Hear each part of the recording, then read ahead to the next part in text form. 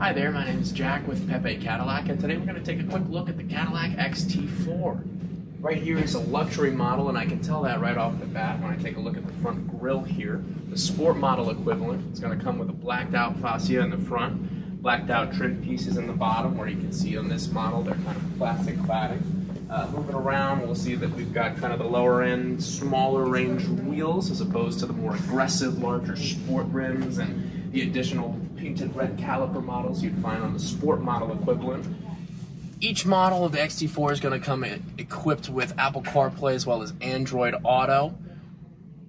You've got most of your control options here on the steering wheel for the driver to have access to while they're driving to. That way they're able to keep their eyes focused and on the road. So come on down and find the right XT4 for you at Pepe Cadillac today.